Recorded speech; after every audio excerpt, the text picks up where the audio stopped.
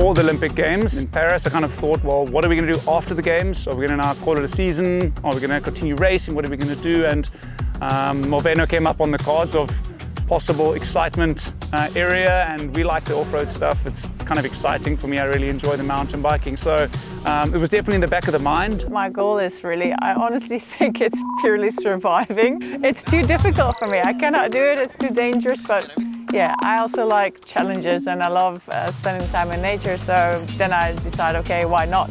The goal is, uh, yeah, not 100% sure really. you know, I would say top 10 for me would be good. If I, if I rack a top 10, I'd be happy with that. Definitely no.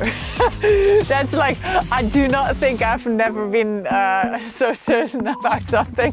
I will never be able to win this race, absolutely not. So I've got a lot of respect for how I see these girls going down the mountain. I am, um, no, I always think you need to be realistic and you can always like aim a little bit higher than what you're capable of, but it's absolute no. I will not be able to win this race.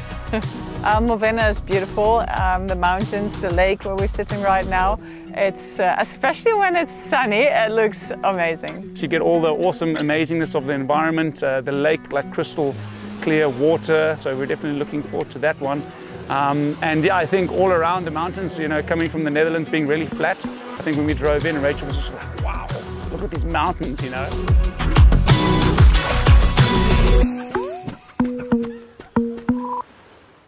Yeah, I feel. Yeah, I feel.